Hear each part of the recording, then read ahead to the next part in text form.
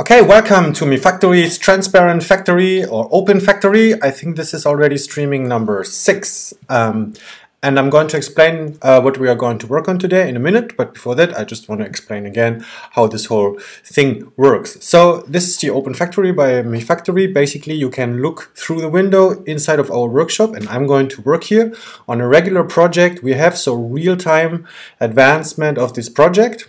And while I do this, I will take pictures and these pictures will end up on Flickr.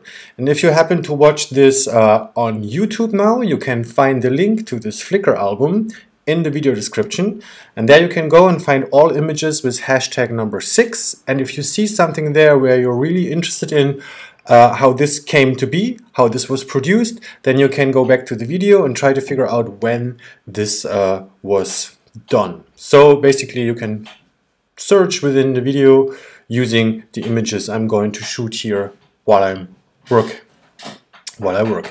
Okay, uh, what are we going to work on today? We are continue to uh, progress the Open Shelf Nodes project. You can see here behind me uh, the little thing we used to make the images for the project. And we're going to do several things today. First of all, uh, we are trying to record a video where we briefly explain uh, why and how the open shelf nodes is an open circular design. So in the video we will produce a video, so we're pretty meta again, and this video will then later be cutted out and made available separately to have this um, tackled. Hopefully uh, I can remember most things why this is an open circular design. After that, we are going to produce uh, stoppers. So uh, we will produce our own stoppers, uh, set collars from uh, acrylic. At least that's what we're going to try to do. Uh, I have some uh, laser cutted thicker acrylic parts and we're going to tr try to put a little hole and then an internal thread into and then see if this works as a stopper. Then we'll go through the workshop and try to find all kinds of other solutions to make stoppers for the open shelf nodes in order to document them later. Maybe we'll also shoot a little video about them uh, today in the stream. So um, Another thing that uh, builds on the documentation of the open shelf nodes and adds also a little bit uh, actually uh, actual hardware prototyping. And then if there's still time, we're going to uh, open up FreeCAD and design uh, another 3D printable open shelf node where you can put an already existing nut inside to then have a, a bolt fixing it to the uh, horizontal bar of the uh, of the shelf. So another way to make a stopper, just using a regular nut and bolt as part of a 3D printed or otherwise molded uh, uh, shelf node. Okay, that's it. Um, let's start. And I'm going to start with setting up uh, the set to shoot a video about how the open shelf nodes are in open circular design.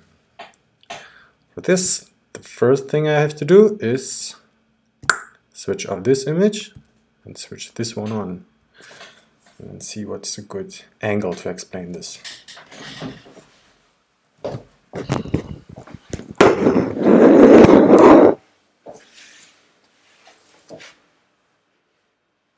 Mm, probably this.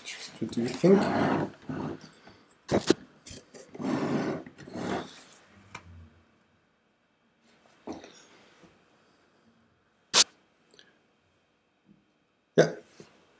So this is already prepared. The other things I will prepare in the process. Maybe you can see, I don't think it's covered in any of the images, that this is, it's a acrylic with a, with a mirror on top, which makes a really nice effect on the design. So, um, let me think.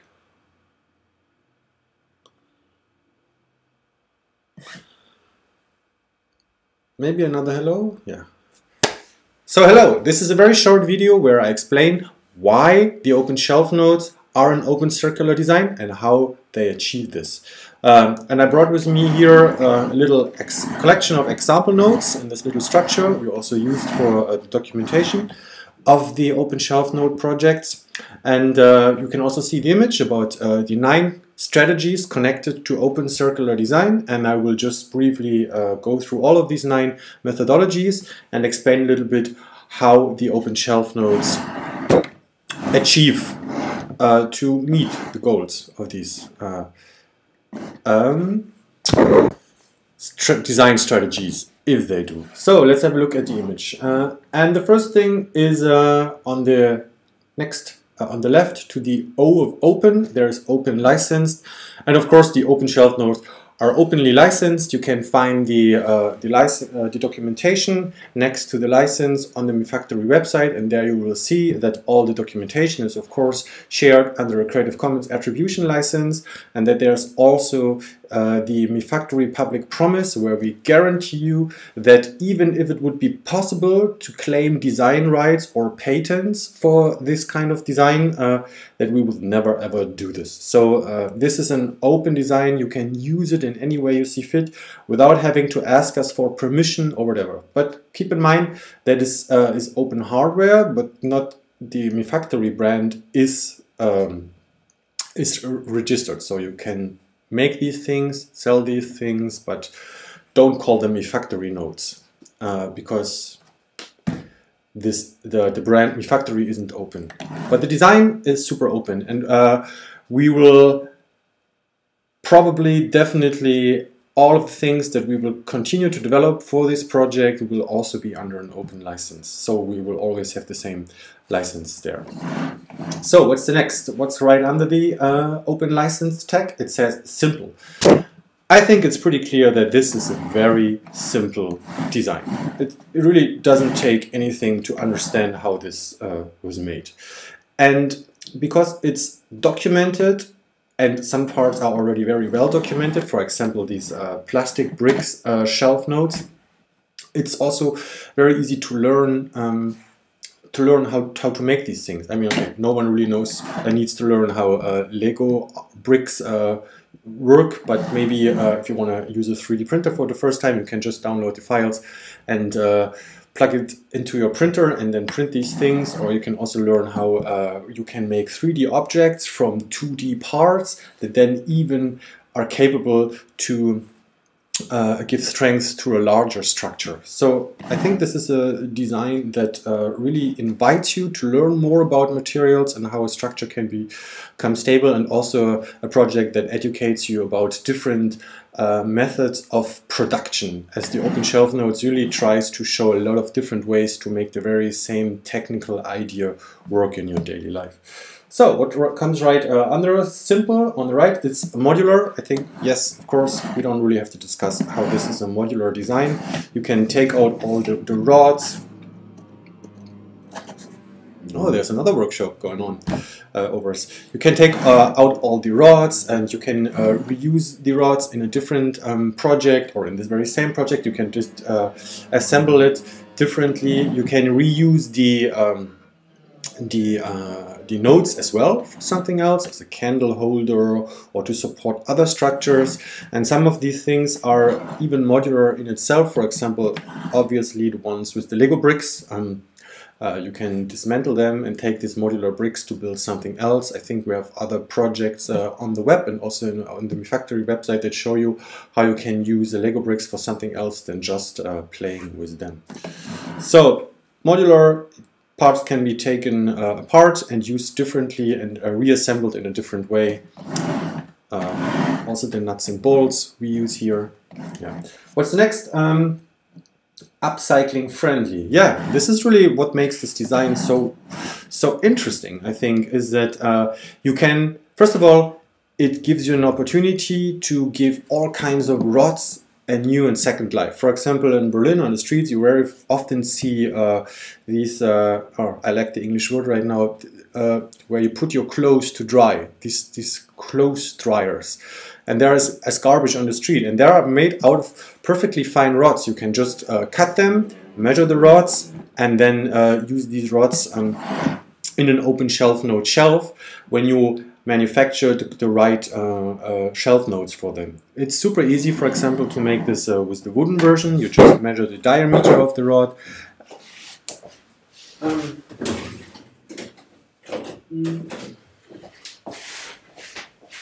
using this tool. I don't know the English word. Uh, in German, it's um, Messschieber. And let's say you find in the trash or somewhere in your home, you find a, a, a rod and then you measure it and then you see, okay, this is uh, 20 millimeters and then you find a 20 millimeter drill and make a wood version that will uh, enable you to to reuse this rod. And of course, uh, you can, uh, if you make wooden uh, shelf nodes, you can reuse all kinds of uh, scrap wood or leftover wood to make these uh, knots because you don't really need a long bar, for example, to make these knots. So this really enables um, uh, the reuse uh, of uh, old rods and also old woods. And you might even say that uh, this might be an upcycling of Lego bricks, but hmm, I'm not sure if we should say this. Um, yes, um, and the coolest thing is really when you 3D print them, uh, as written in the documentation. Uh, for example, you measure uh, all of the 3D printable nodes that are uploaded uh, up till now, till May uh, 2021, uh, um, are made for 16 millimeter rods because they're pretty standard, but you can just scale them in your slicer. For example, if you have 12 millimeter rods, you just print them at 75% size, and then you have uh, nodes that work for your 12 millimeter rods. And you can also envision, and we are going to build this at some point, that uh, one shelf node has different uh, hole sizes in the very same node. So you can maybe have at the, at the horizontal bar, you can have a very thick rod, and at the other um, uh, layers, you can have a, a thinner uh, rods, for example. So this is a design that invites you to find old material and then put this into this modular shelf. So what's next? Uh, recyclable. Of course, recyclable depends on the material you choose to make this design. Um, as this is a design that uh, enables different materials to be used, it of course enables uh, a lot of um, uh, recyclable materials to be used. Um, not all of these materials here are recyclable, but for example uh, the silicone node, which is super nice. Um, silicone is a highly uh, recyclable material and we are going to produce uh, silicone um, molds in the future for ourselves and, and, for, for the larger project uh, that will already include recycled uh, silicone. So you can re uh, reuse silicone yourself in your home workshop, just cut down old silicone. For example, we have this, uh, this silicone from uh, uh, which you use in your bath, for example, and this was dried out in the pistol, but we took it out. You can cut it uh, into smaller pieces and then add it into fresh silicone and put it in the inside of, an, uh, of a silicone shelf node. Yeah, and you can envision that you, for example, make this from, from recyclable plastic and so on. So not all the materials I have here are super duper recyclable, but it's easy to see that you can use recyclable materials. So what's the next? Um, standards, yeah, as I said, uh, we are plugging into existing standards, for example, with the um, uh, Lego brick version or the plastic brick version. Um, and uh, the cool thing is that we have all the nodes where you can download the documentation up till now made in a 16 for 16 millimeter rods and 16 millimeter rods are a super available standard at least where my factory is located here in Germany and I assume probably all over Europe too. So magically most rods you can buy are 16 millimeter uh, uh, diameter, or you can buy 16 millimeter diameter rods almost everywhere. And this is also very beautiful because it works perfectly with uh, these plastic bricks, these standardized plastic bricks, because the distance between two studs is two, uh, 8 millimeters, so makes two studs 16 millimeters, and that's why this fits so tightly and so perfectly. So um, yeah, and the cool thing about uh, the 16 millimeter diameter is that in most starter drill kits, here in uh, Germany at least, a 16 millimeter uh, bit or drill is included. Um, yeah, it's built on standard and invites you to incorporate more standards. Um, what else? Educative. Yeah, I think most of the things about the educative part, didn't I talk already about educative? I talked about simple.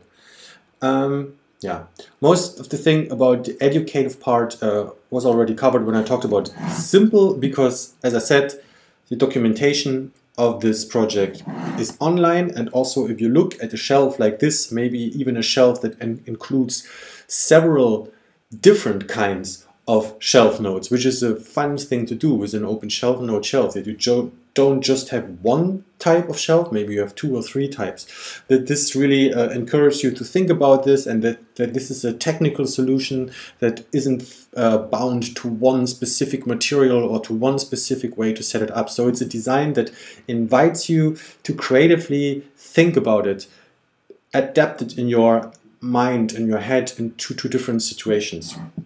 It's also very colorful, so uh, it, it, makes it easier to um, understand and, and, and, and, see differences in the design and reassemble it maybe uh, in your mind or maybe maybe even with your hand. And if you have this at home, it looks like a toy maybe and uh, invites also to reassemble it and play with it, adapt it to other situations and so on. I think educative, it's, it's pretty fair to say this is uh, educative design. Then uh, let's, let's move to the center of the uh, image and there it says pre-use. For those of you who don't know this uh, term, pre-use is a term uh, that I personally learned from Jan Körbes from Refunc and um, it describes that you use materials maybe in a different way as usually intended or in the way they were intended, but you leave them intact as if they're still in the hardware store. For example, you don't drill or cut or paint them. And this is a this this the open shelf node design invites you to pre-use a lot. For example, all these um, rods here used, they don't need any uh, drilling or painting and so on. You can just put them in and then take them out and use them for something entirely else. You can easily envision that if you set up a temporary infrastructure using open shelf nodes, then you can um, borrow these rods, maybe from a hardware store. You set up your shelf and then you bring them back because you didn't do any harm to these rods. So you have a perfectly modular reusable parts uh, here. And the same thing is true also for the boards. We will cover boards for this um, solution in a later video and, and, uh, and, the documentation at a later point. And there are also several ways how you can put just um, boards on top of this structure without having to drill the boards or cut it or glue it or whatever. So uh, it enables you to leave the materials intact for different uses later on. You don't have to change the, the materials to make them parts that work for this design. Yeah, and uh, uh, the last uh, method or strategy that uh, is connected to open circular design is this uh, support for the biosphere and uh, most designs um, don't check this box.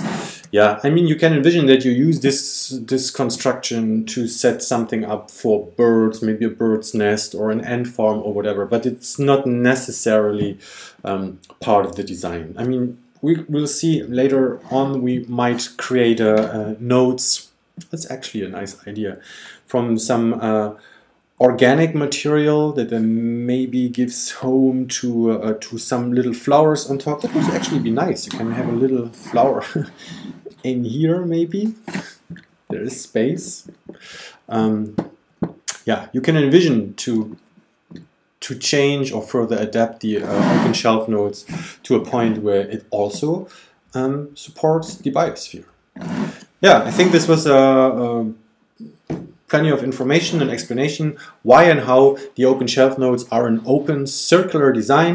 And um, maybe at a later point we will create an updated version of this video when there's also more things to say about the boards and the stoppers which is uh, what we are going to work on today a little bit further. More maybe. Okay. Yo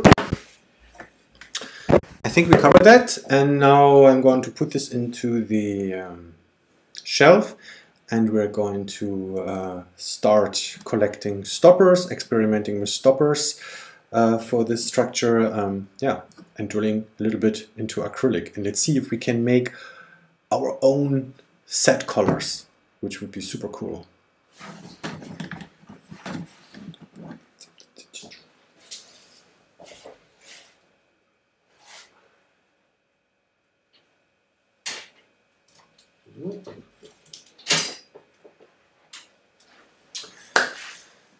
So, I don't think we need this image any longer. Maybe we can put.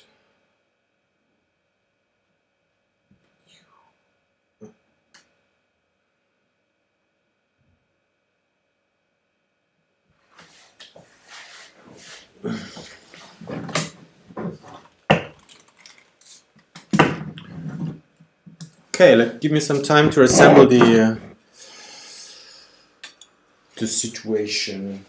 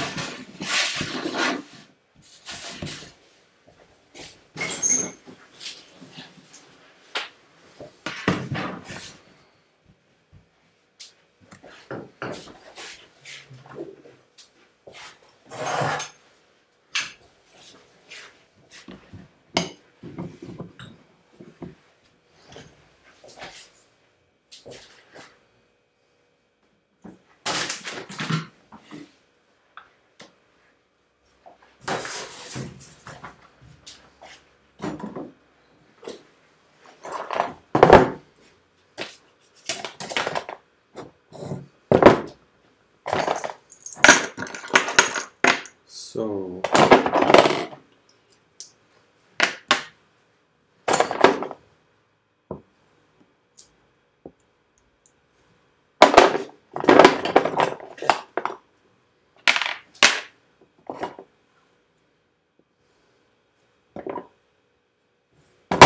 Oh, I didn't know.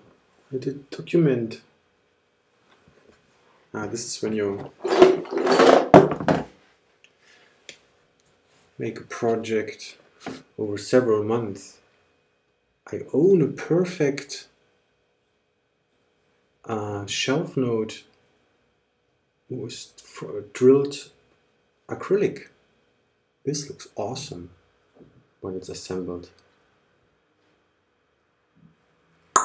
I need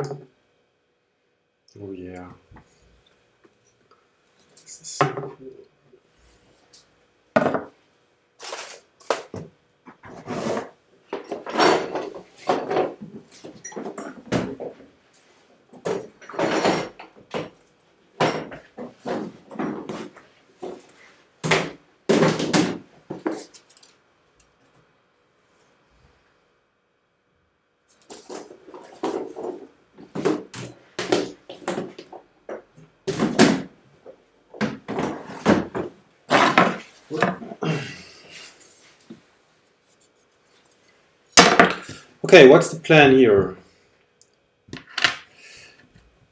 Hmm.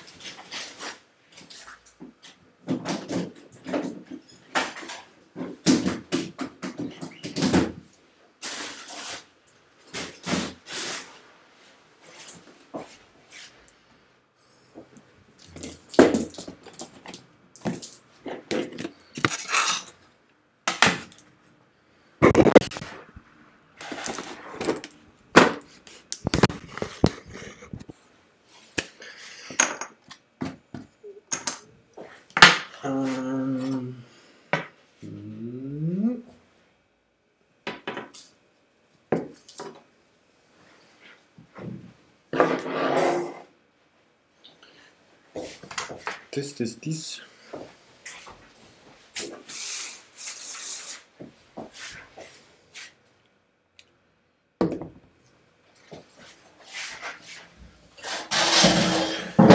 And I think I need three three millimeter. Do I own three millimeter?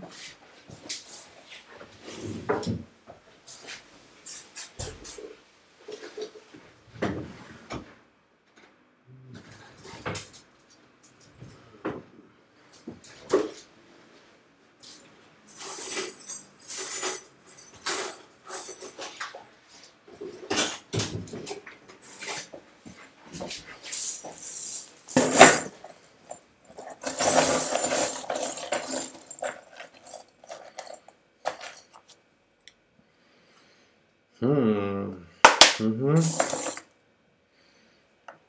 Yeah, let's try.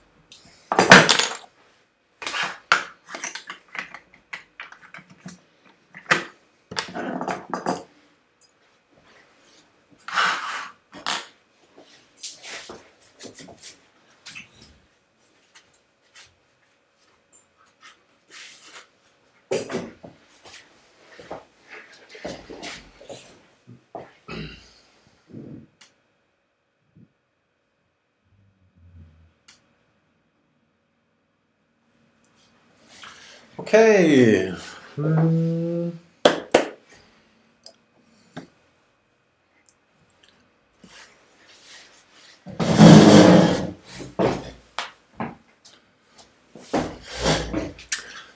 Don't do this at home.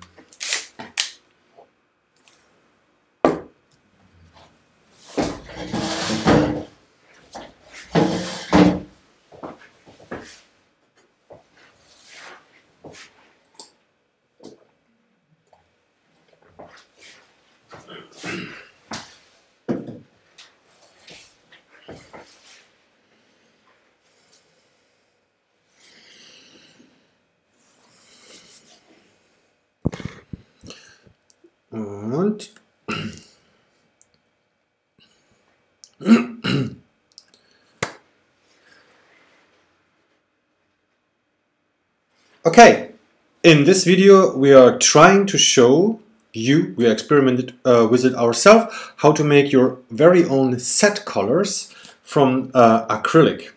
And uh, this is uh, uh, how this works. So we have this 8 millimeter acrylic material or is it even wait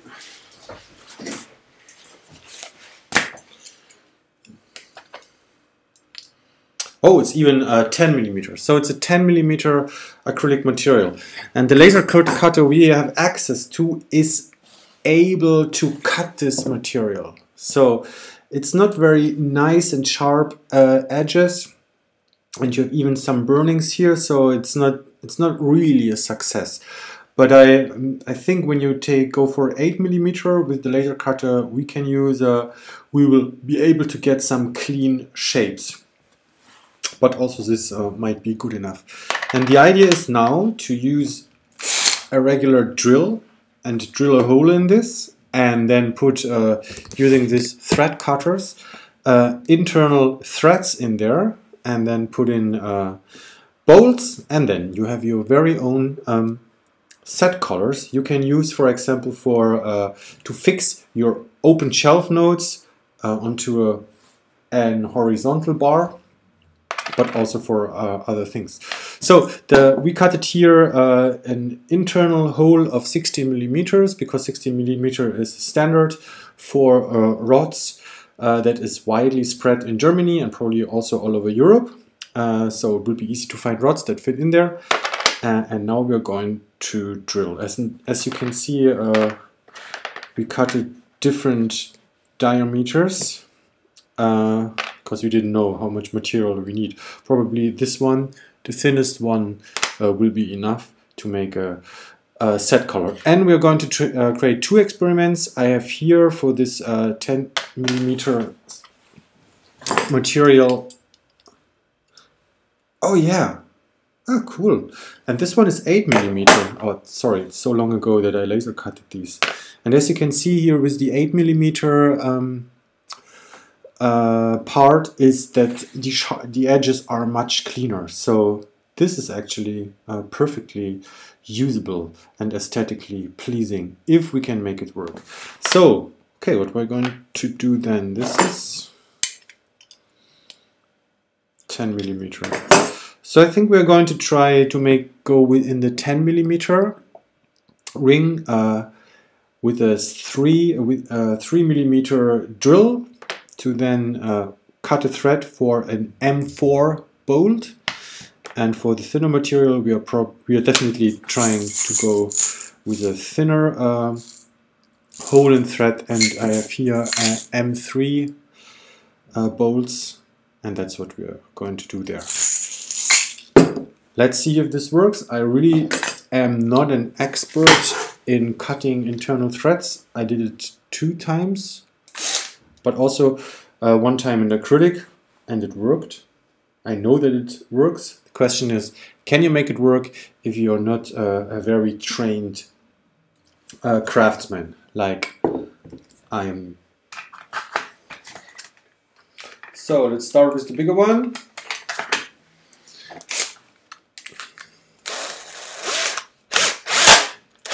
Yeah, and this is a real-time video, so maybe you can uh, use on YouTube the functionality to have the video played at a double speed.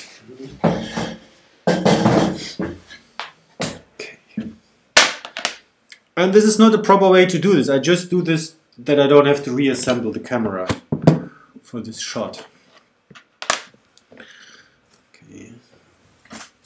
Let's check. Usually I would use a, a a stand drill to, for this, but um, yeah. For this recording, we try and try it like this. So.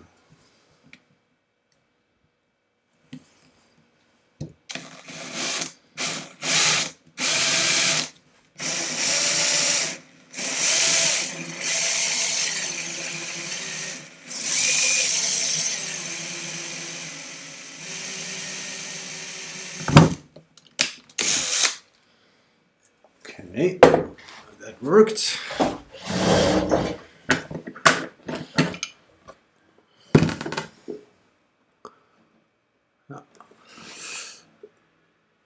Okay, the question is,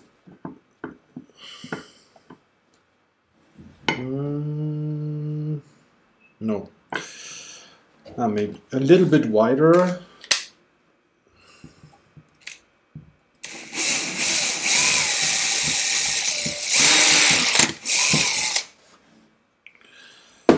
for the thread cutter.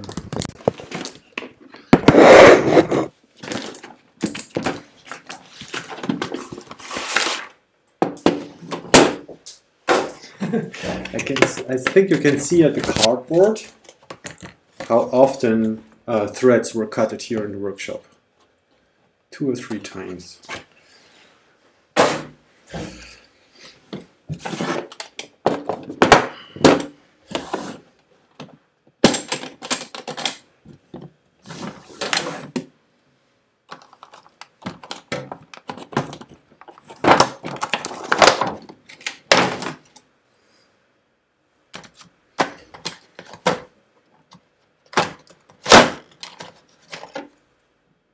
Oh, I do I not own an uh, M3 thread cutter?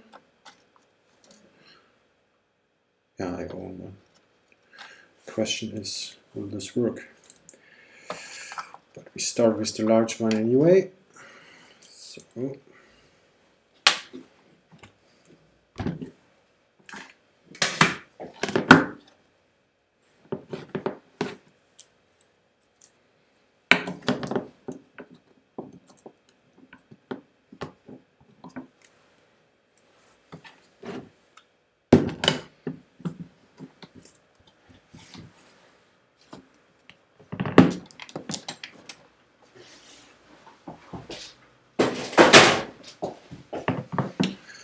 Okay, here comes the tricky part.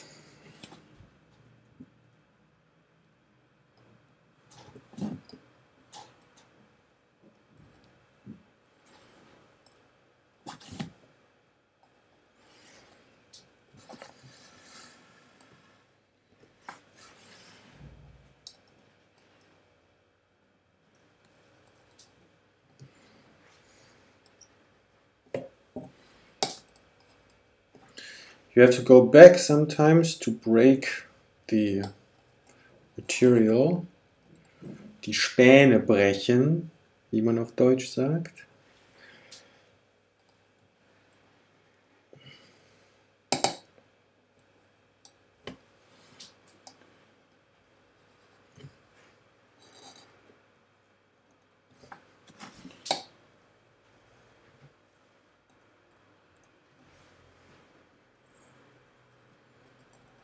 Oh.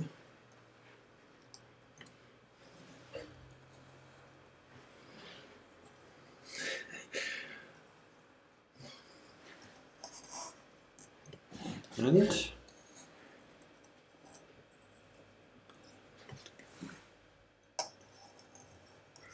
goes in.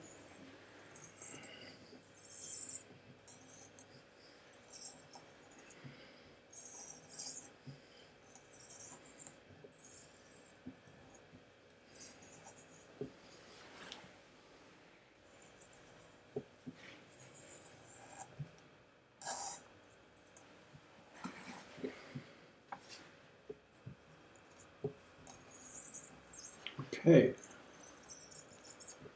Ich bin durch. Through.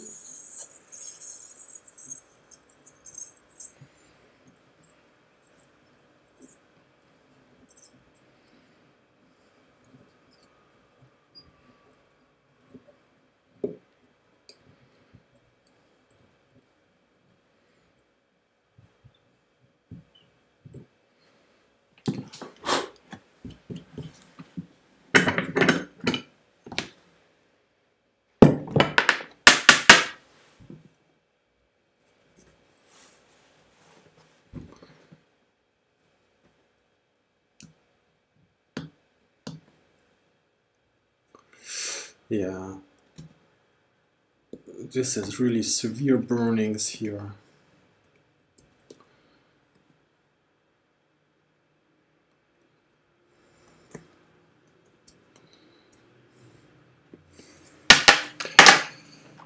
And now let's see. Yes. Goes in really smoothly.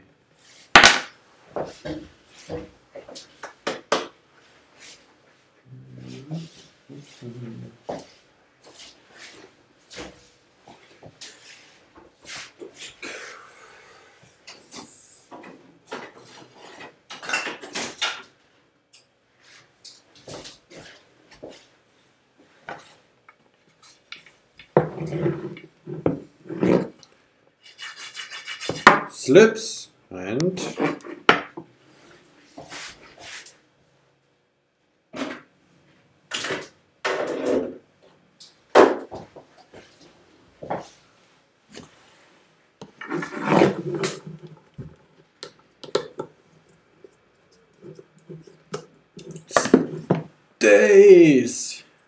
Yay!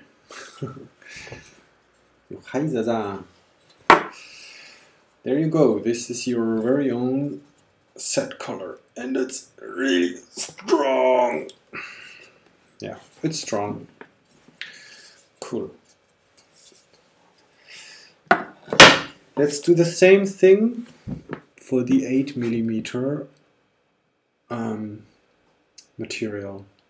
I think we should try to make also a set collar uh, from 8mm material using an M4 bolt. Why? Maybe because the bolt is stronger or maybe we are just curious if this is possible. Yeah, let's do this. And after that we are going for the 3mm uh, bolt, for the M3 bolt.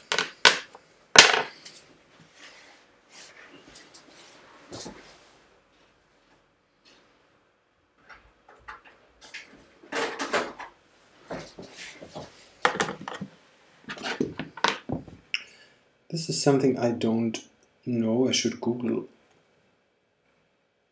You have to clean up the thread cutter. And I assume this is the tool to do this. But I don't know. Don't know how.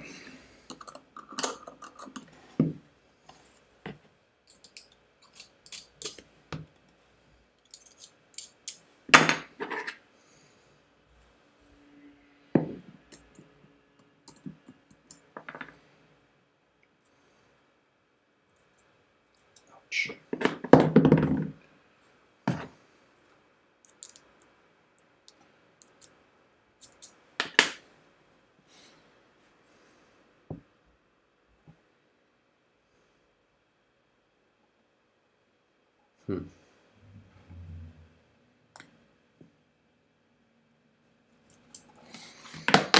Hmm. Okay, although this is the open factory, usually in an open factory I would Google this right now, but it's also supposed to be a little bit, a little bit entertaining, so Googling is probably not the right thing to do now. Drilling is.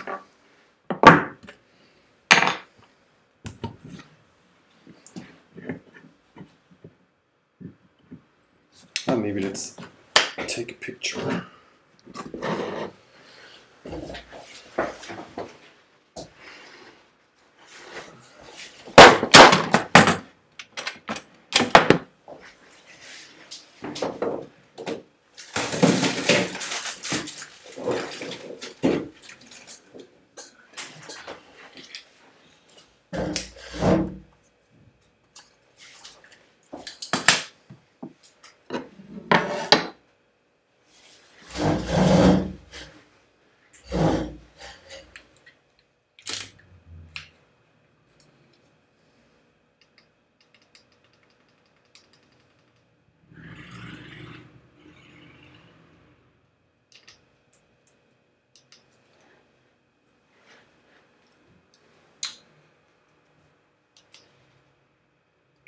Do, do, do,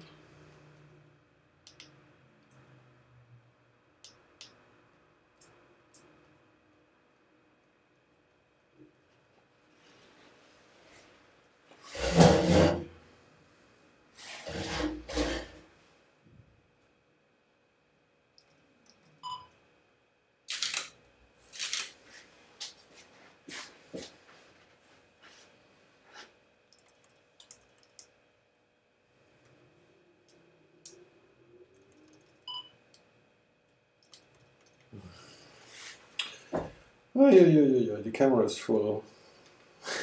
Sorry. Dun, dun.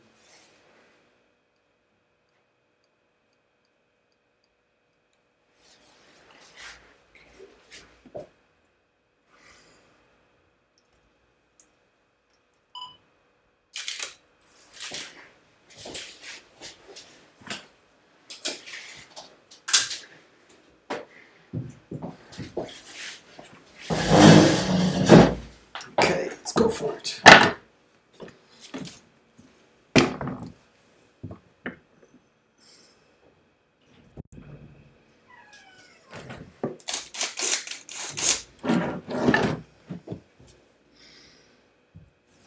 Okay, this one is harder to meet.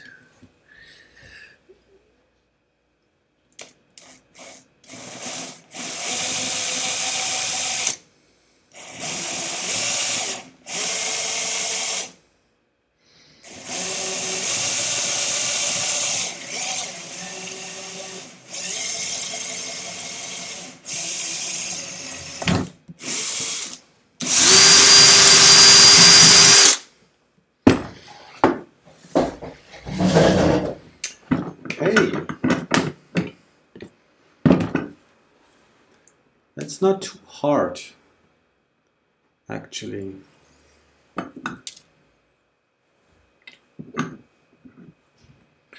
I mean, if I have a, an M4 bolt in there and I have 8 millimeter material, this means I have only 2 millimeters of material on each side to support everything. This is not much.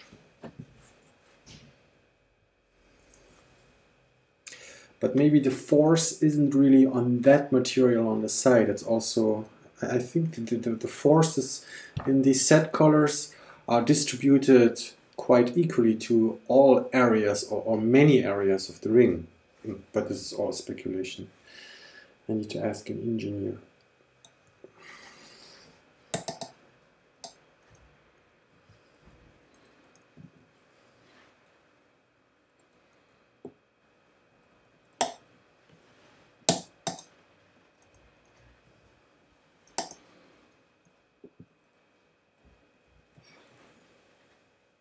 Hmm, but maybe now it becomes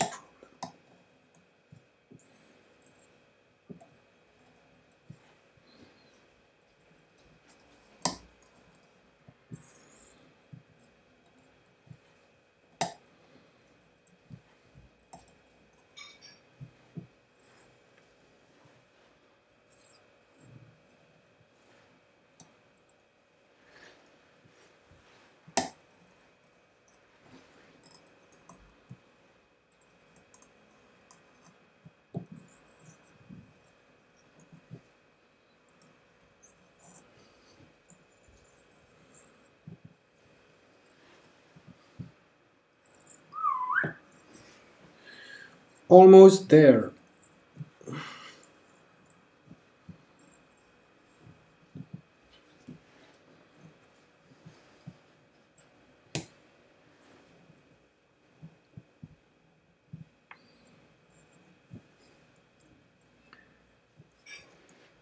Okay, yes, I'm through.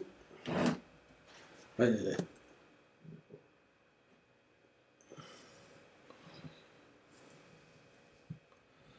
Am I though?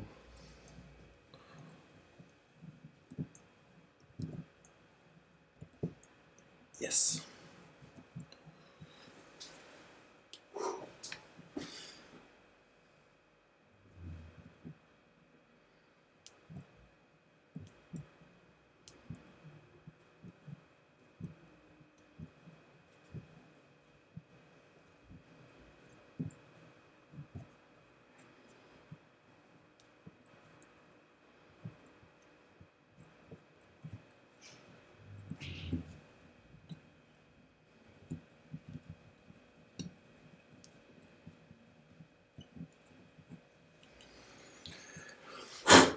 Okay. Hmm.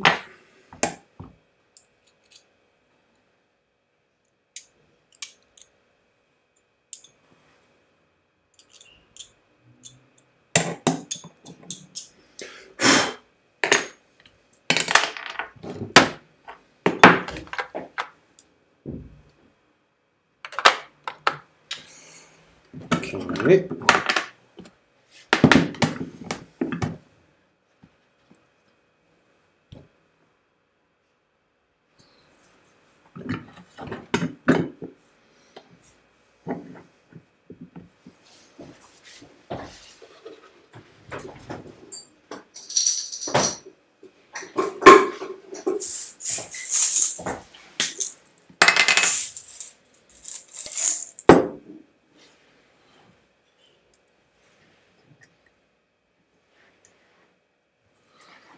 Mm. Not long enough. Oh, let's try.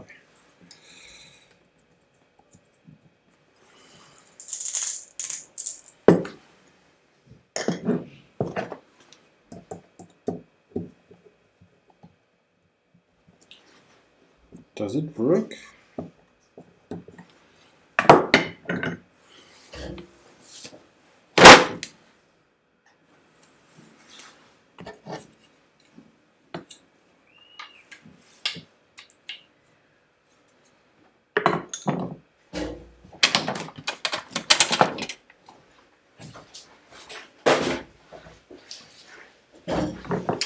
I mean, this is a pretty satisfying um, project or work. So I assume if you, I mean, you would have to make for each shelf node in your shelf one. If you have a small shelf, I think making eight. Oh, oh, oh, is doable. Okay, I think I need to cut this second time.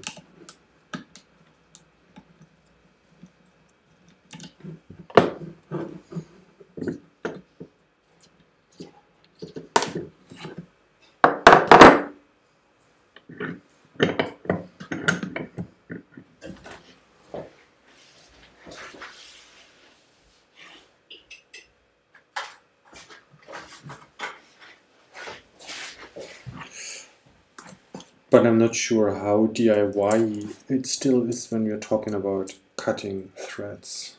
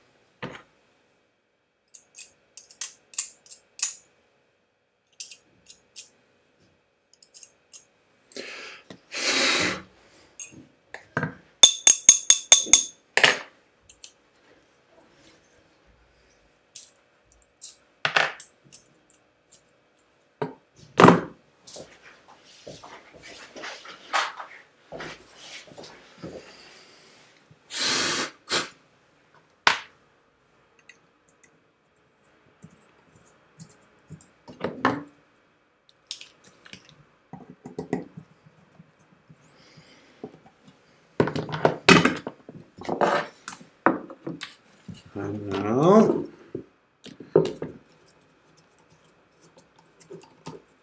ta-da! Ooh, tight. And okay, let's get serious. Uh, okay, even when I'm serious, works. Okay. Now the three millimeter one. Look at this. This will work for shelves.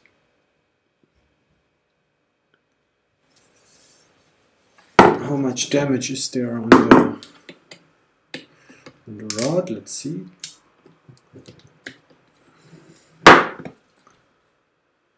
Yeah, a little bit, but you know, not too serious.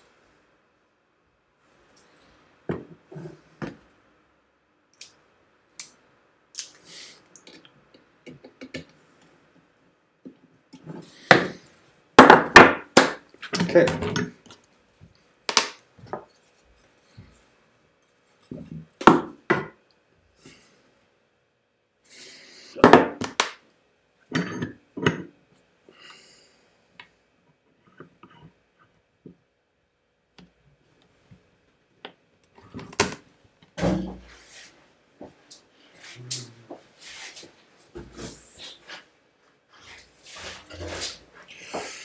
Now let's see if all of this also works with a thinner bolt and a thinner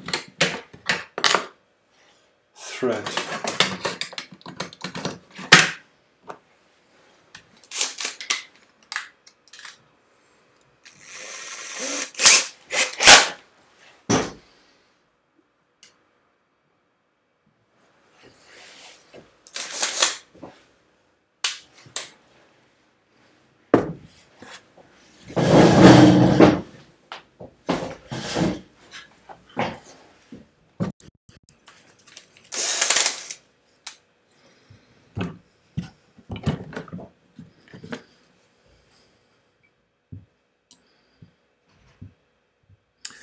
This is a two millimeter drill.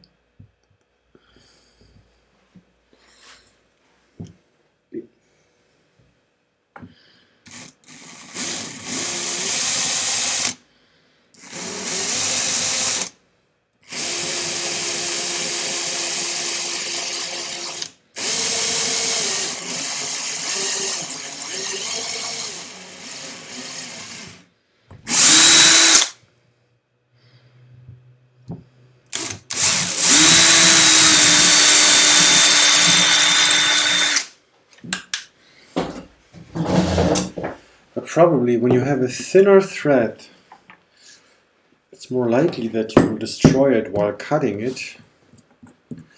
And that will get destroyed when you apply a lot of pressure. So maybe you have less of a weak point left and right to your hole, but maybe the weak point is in the hole. So probably the M4 solution is the best one, not only because of this is a an even more widely available standard to replace, for example.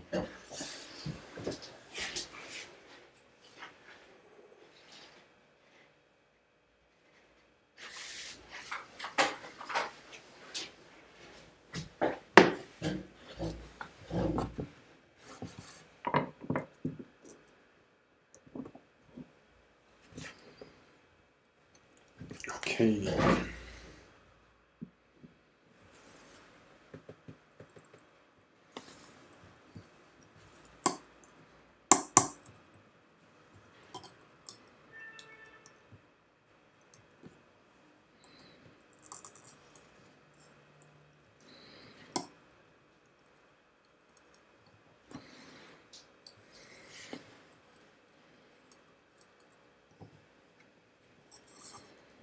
Hmm.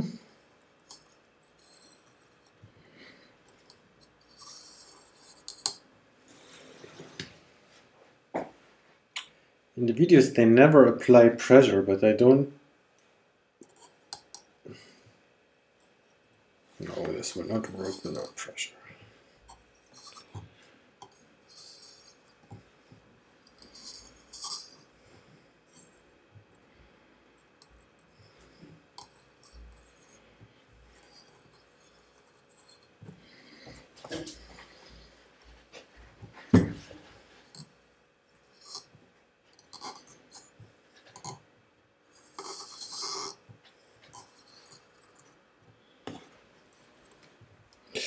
Yeah, this doesn't go too well.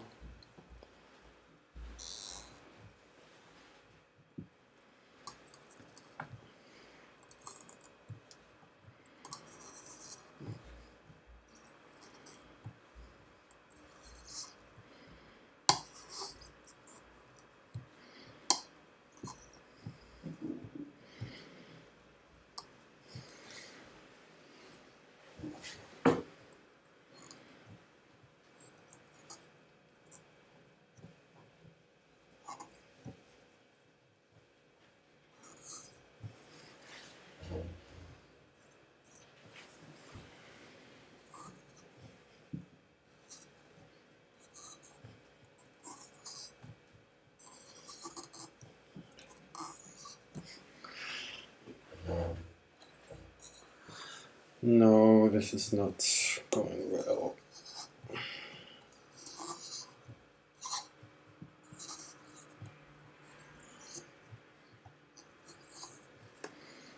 It's just harder.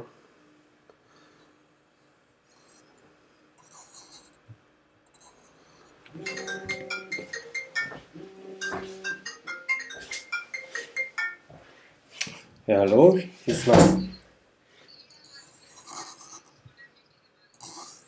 Hi.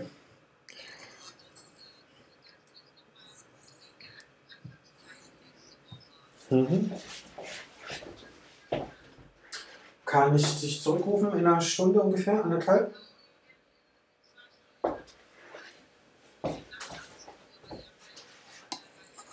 Alles klar, dann rufe ich 18 Uhr zurück.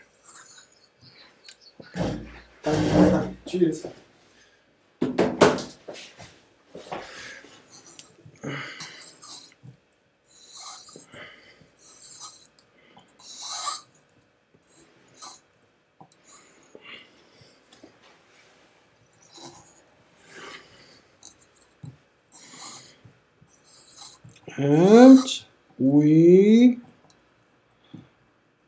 This is definitely not enjoyable. The thinner threads.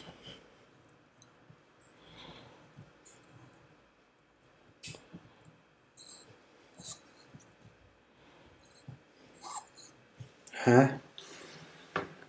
No.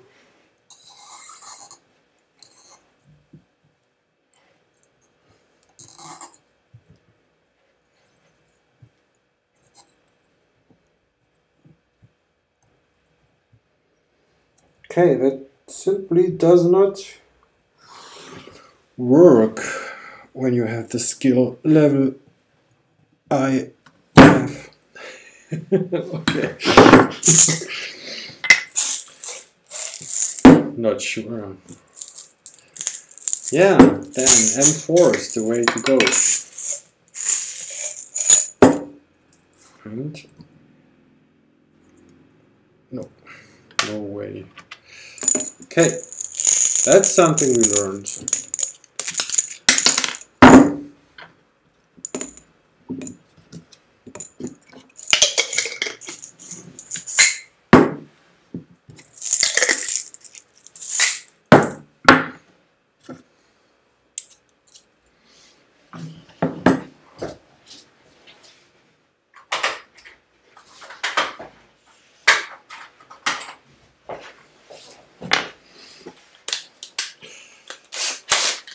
Thing, when you made a not working attempt with a smaller hole, you can still shoot a larger one through.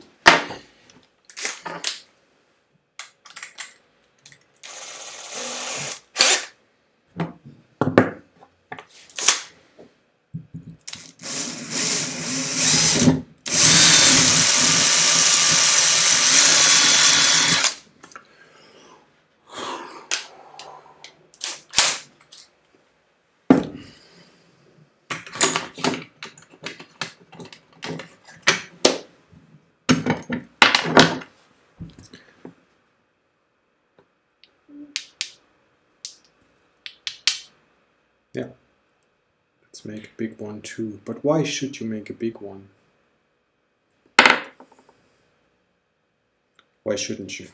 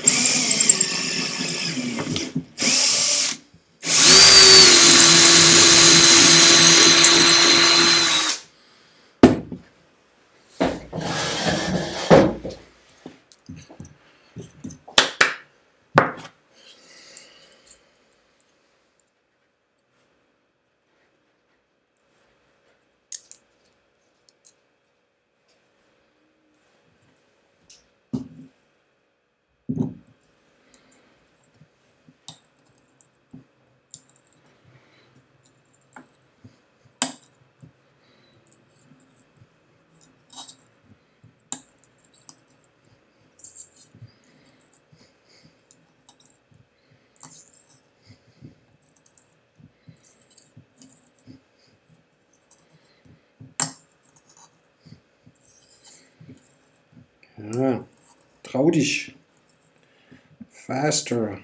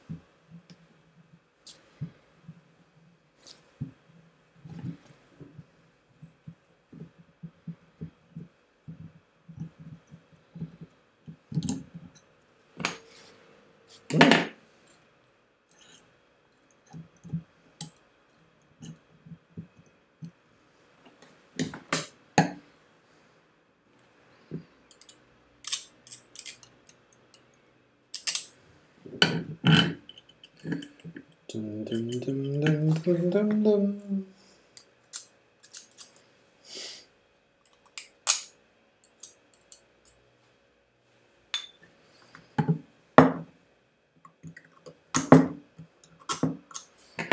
Hmm, Okay, that was necessary.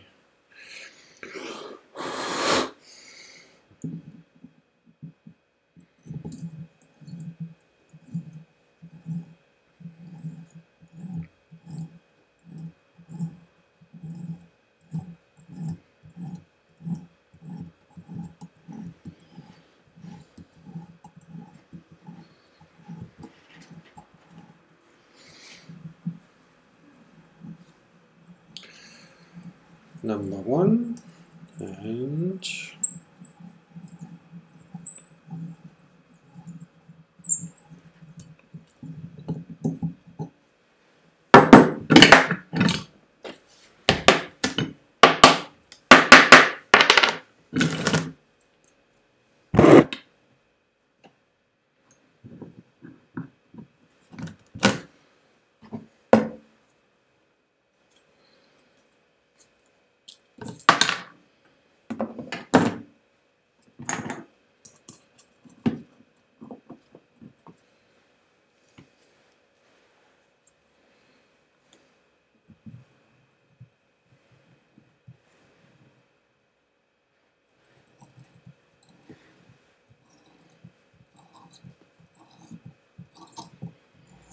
oh, that was quick.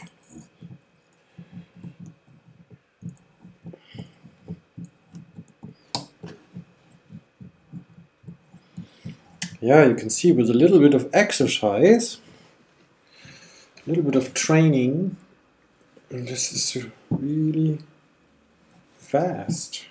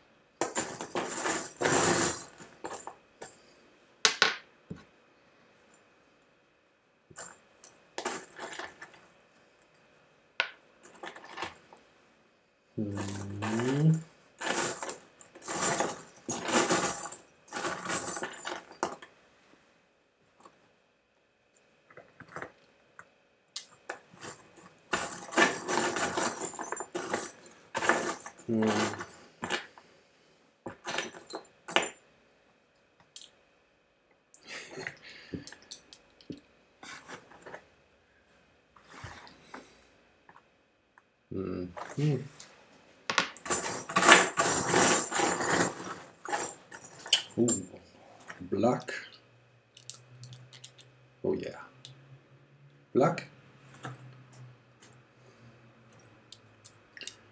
Just for the picture.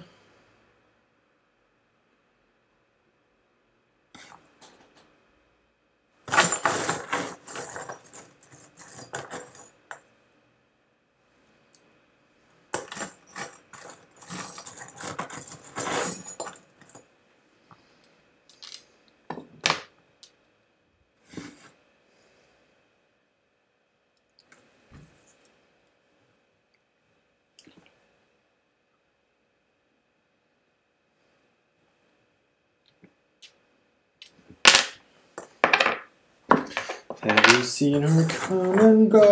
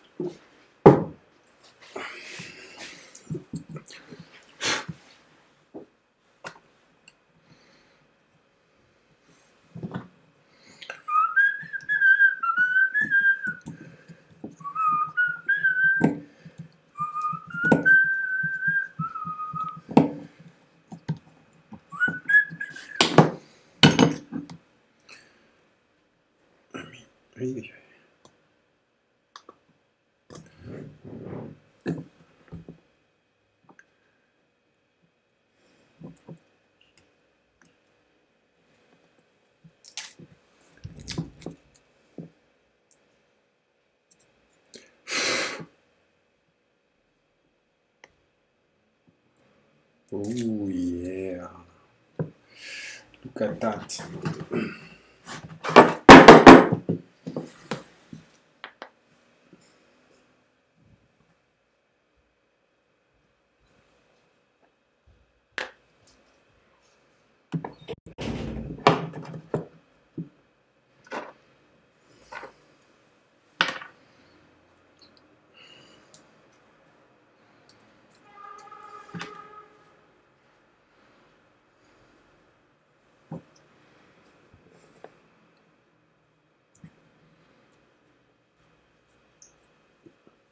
Ooh. Oh, that is nice.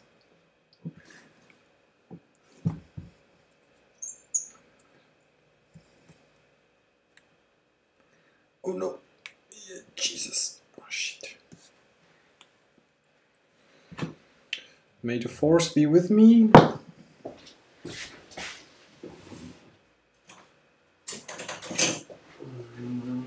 Please don't break.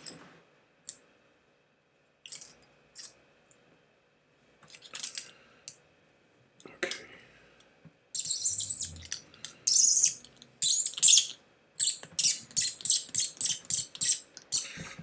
Like 90s scratching.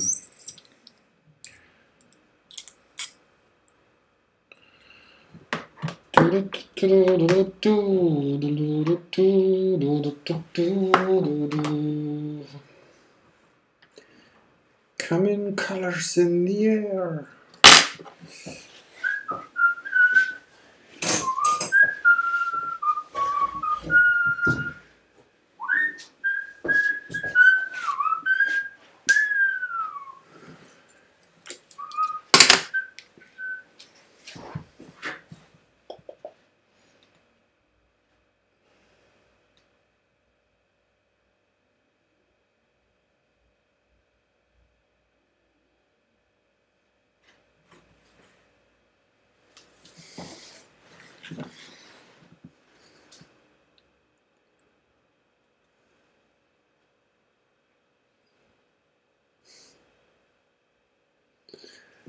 Hmm.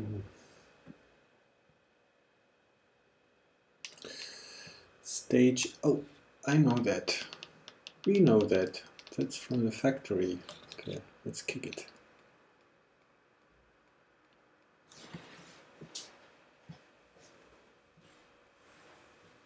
Okay.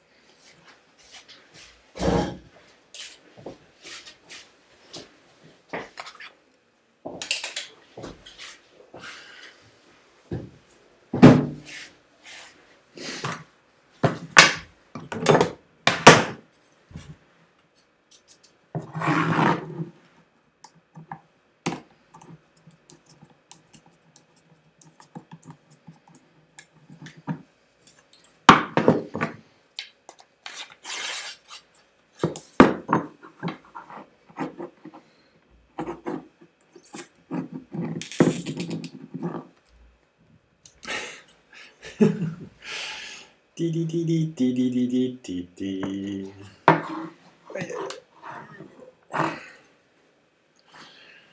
I mean, uh, oh, no, that's not too tight.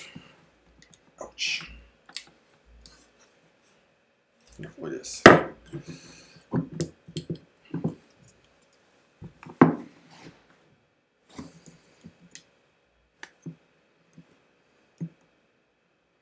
I mean, the larger you make these,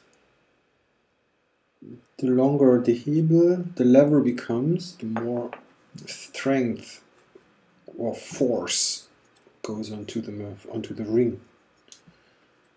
So maybe the small version. I mean, the small versions are perfectly fine.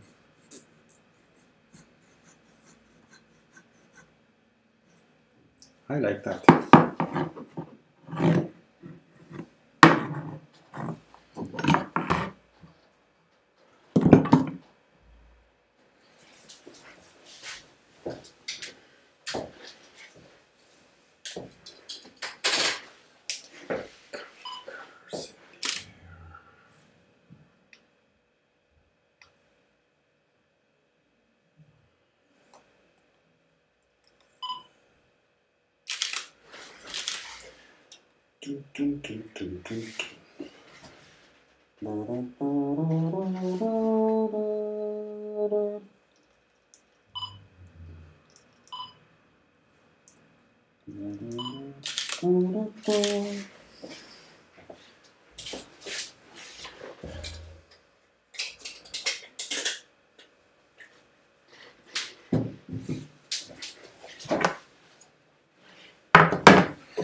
Clean up.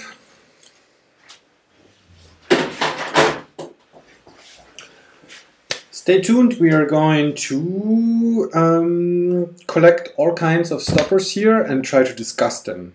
Let's see how many we can find in our workshop here to discuss and maybe take pictures of.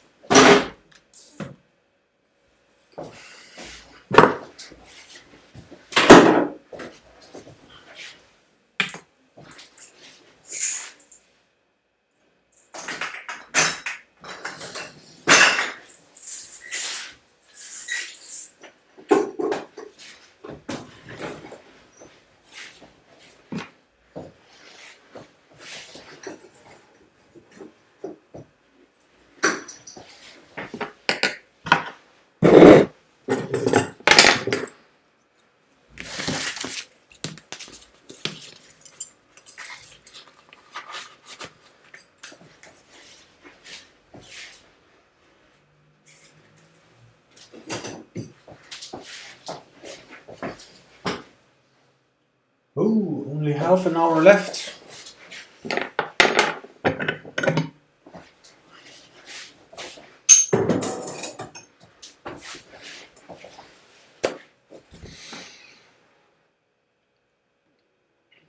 We can do something else instead, maybe. Yes. Okay. Just clean up, wait.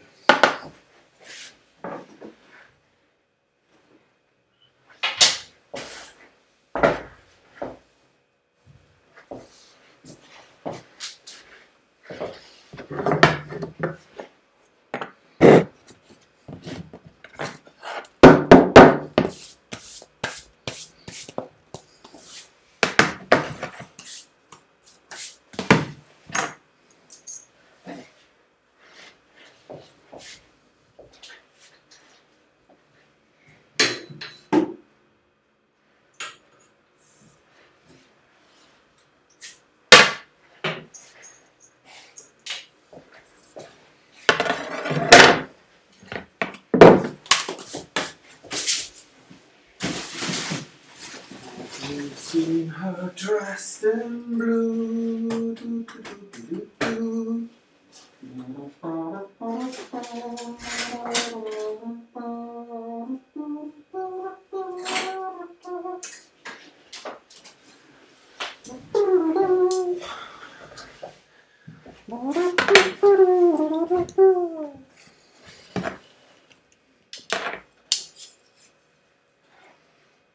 Oh man.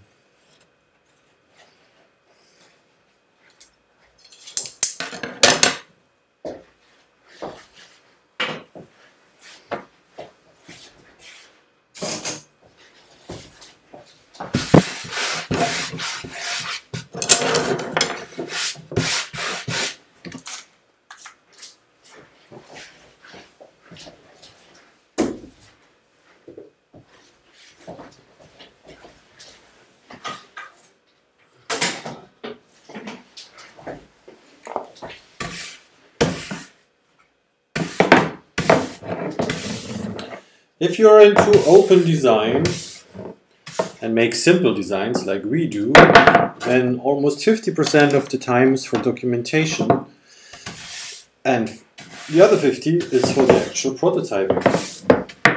And from the actual prototyping, at least 10% are for cleaning up. Or putting everything back shelves.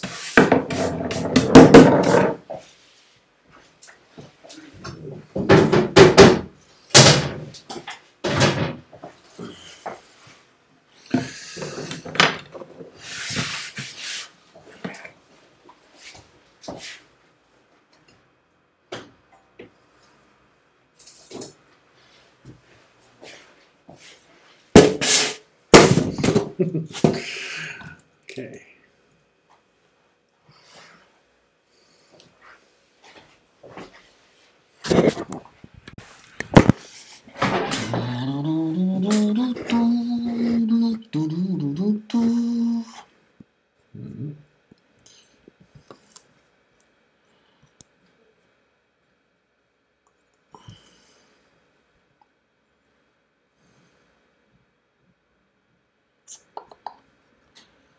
Mm. We are, uh, yeah. I'm going to explain in a minute what we are going to do.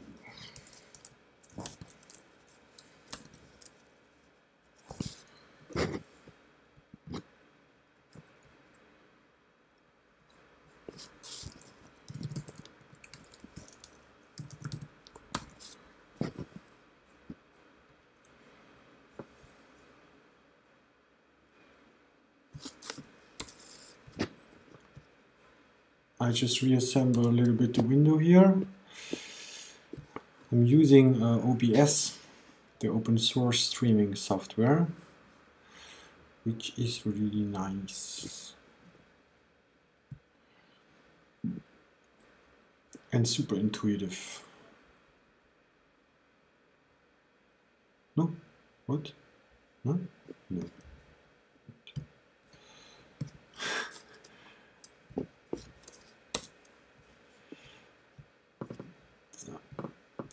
Mm.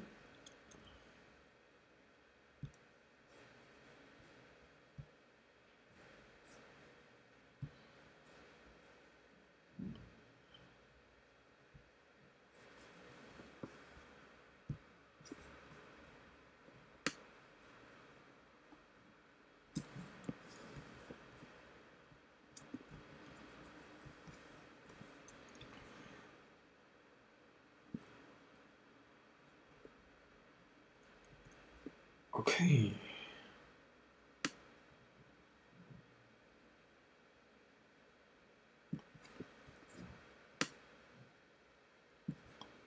Hmm.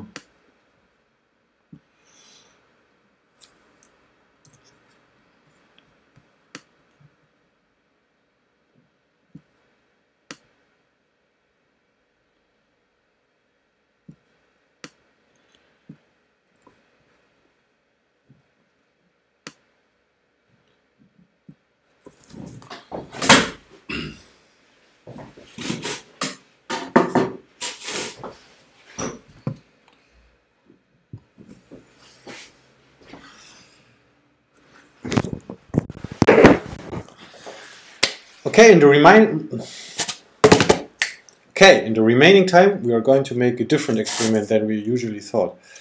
Okay, in the remaining time we're going to make another experiment.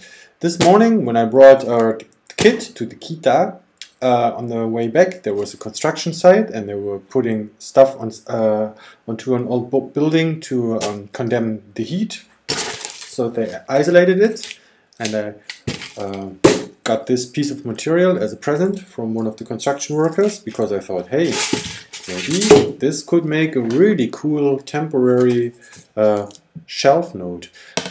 I never worked with this material before. It's still poor, you know, it's just this little balls here, probably glued together.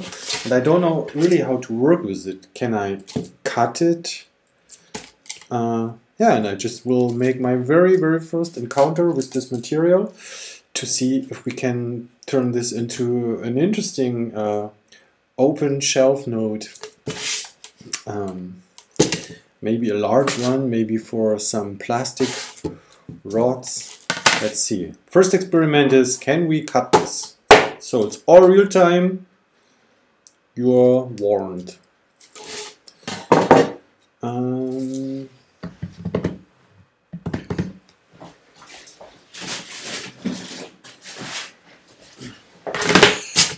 Usually I would set up the workbench a bit different, but you know, for this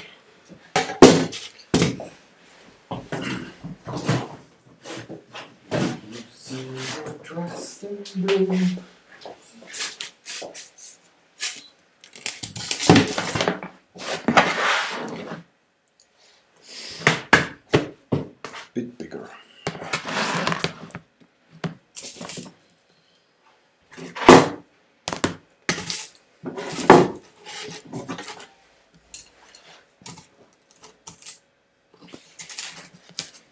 Should cut this? Probably with heat. I will try with the saw.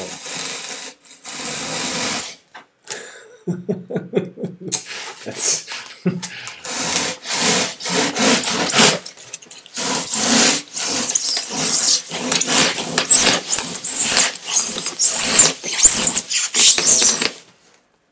Oh, that works beautifully.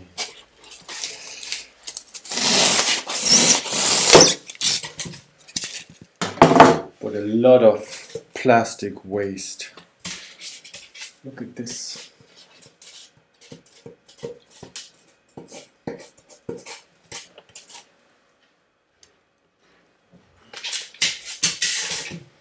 You would, if you would want to do this sustainably, you definitely would to take care of this little stuff here.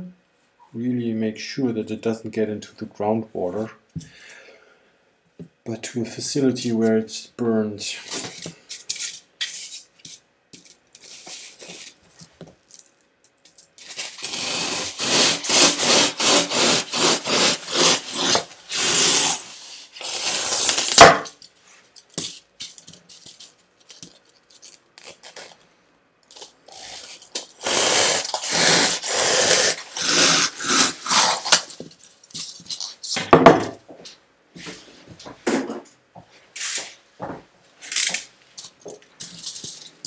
How does this like cutters? Ooh, even better.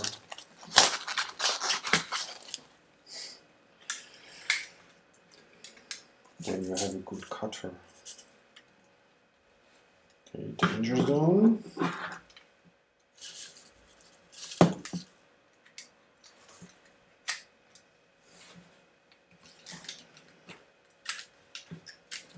Mm.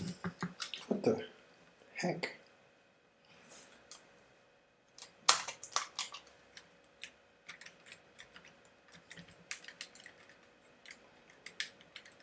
Okay, let's take care of this.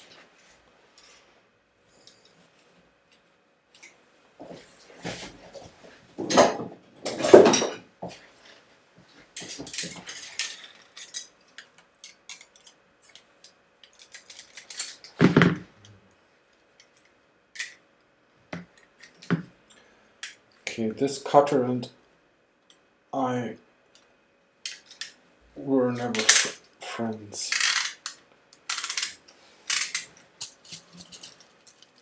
Huh?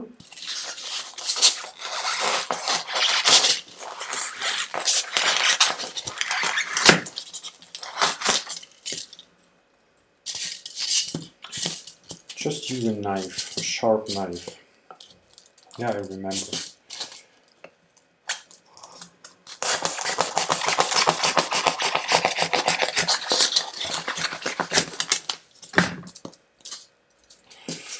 Okay, how about drilling?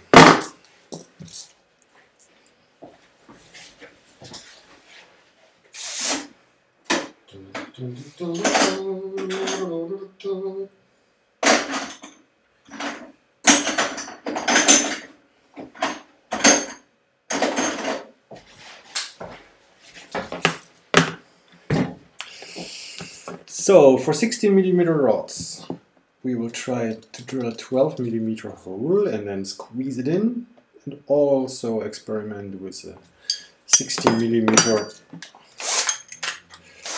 drill. Question is, is it possible to drill this? What happens?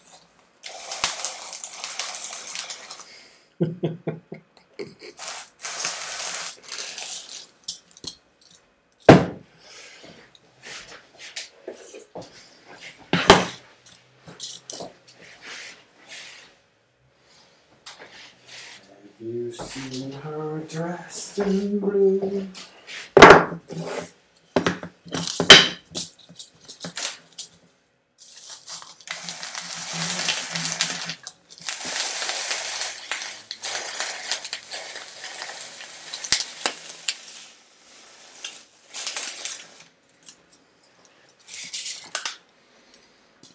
Okay, this is the 16 millimeters.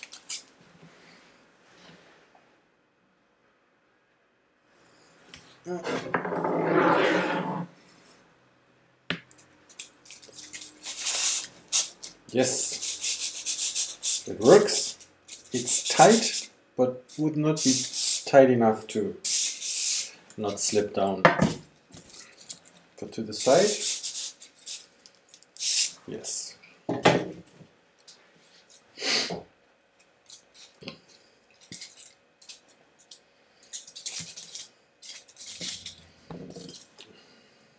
Hey, my drill.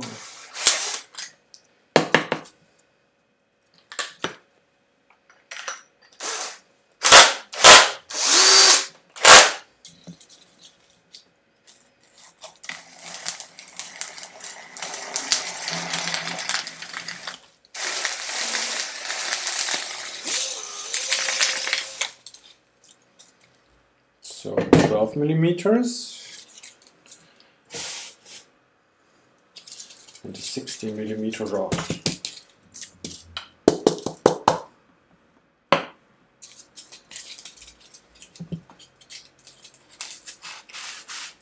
Wow, that works really well. Jesus, look at this. Can even apply pressure.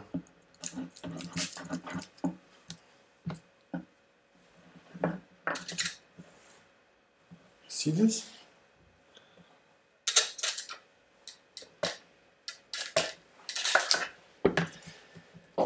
Ooh.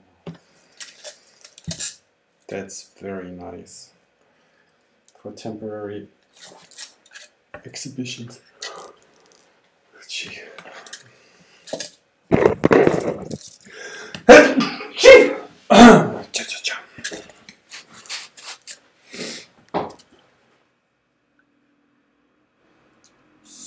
Cool.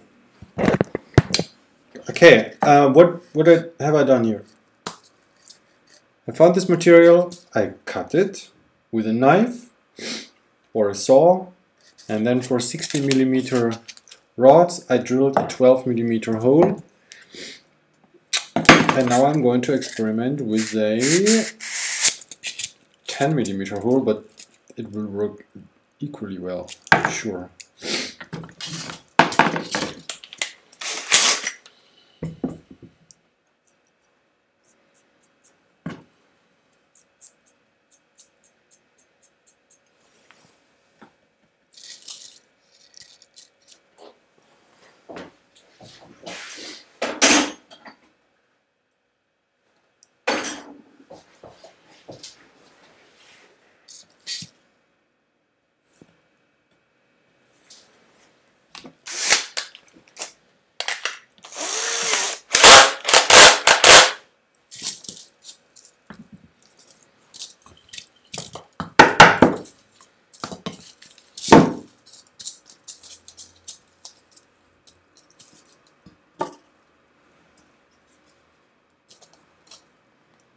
Let's go for it. Make a real shelf node. Come on.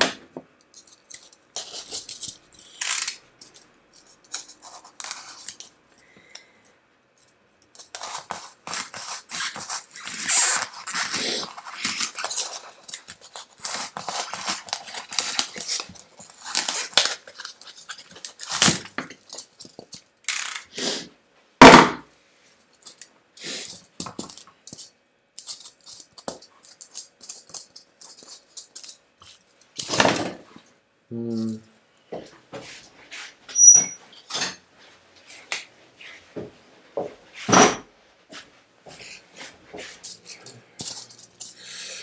Let's make an A type, type A.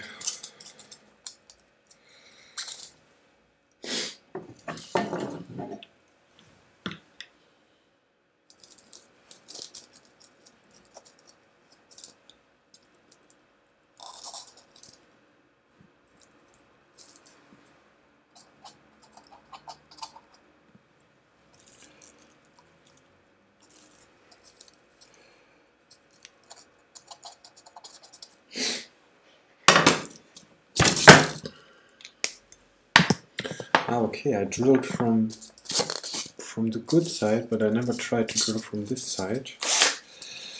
Let's see.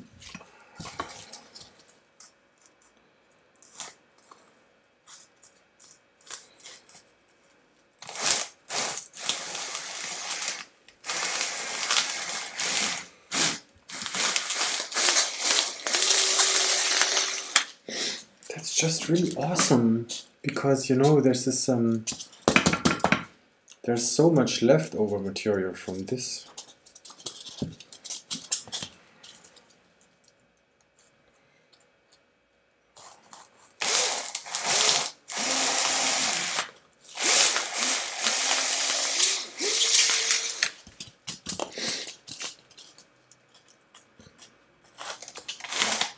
Of course, you have to use a, a stand drill for this to make it accurately. For this quick test. Okay. okay. Come on, let's take a picture.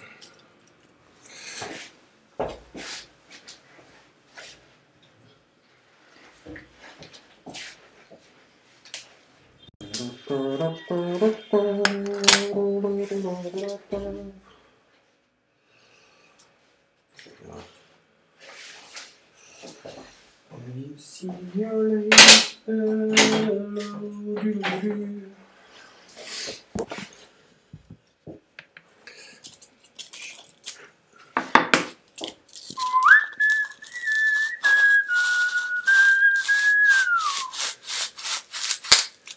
Okay, no, 10 it's not to recommend.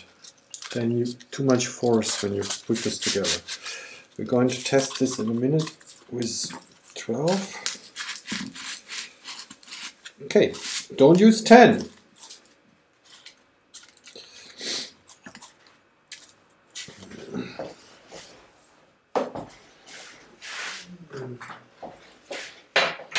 Don't use 10. Unless you have a really large node. But this broke here, can you see? This broke. But I try to pick this through. But if you have more material on the side, then 10 also works. Then it's really tight.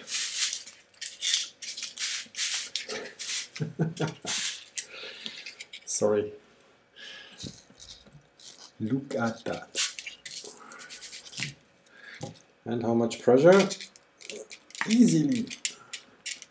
For lightweight objects like documents,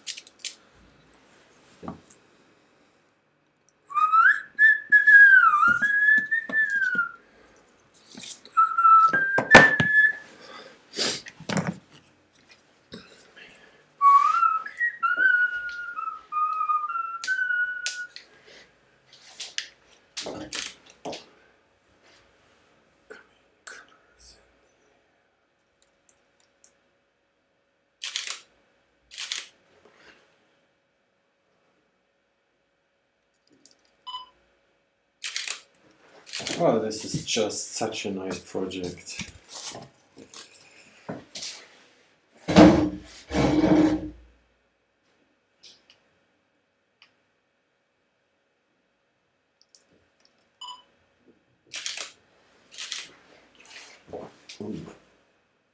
Mhm.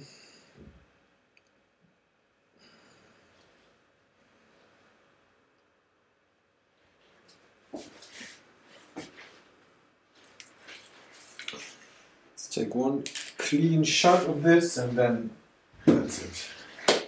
I mean, I will just take one clean shot and then the factory is over anyway.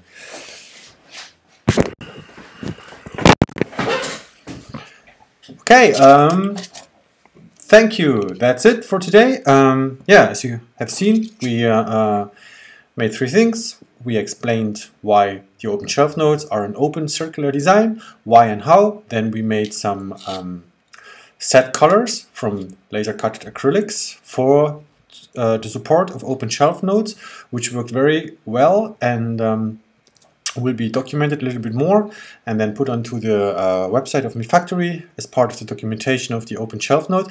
And then we made a super exciting experiment from this material that, that is used to um, make buildings lose less cold. I don't know the English word for dämmen. Um, insulate? Maybe insulate. And saw that it's super easy to cut this material and drill it and turn it into shelf nodes that are stable enough to build uh, temporary uh, shelves for um, for exhibitions and so on. Super fun, super quick, super beautiful, super nice. Um, yeah, so we added something to the system. Thanks. Uh, plug in next time. Probably next uh, Wednesday will be the next stream. Uh, the factory is open factory streaming number seven. Support us if you like. Uh, yeah, and see you soon. Bye bye.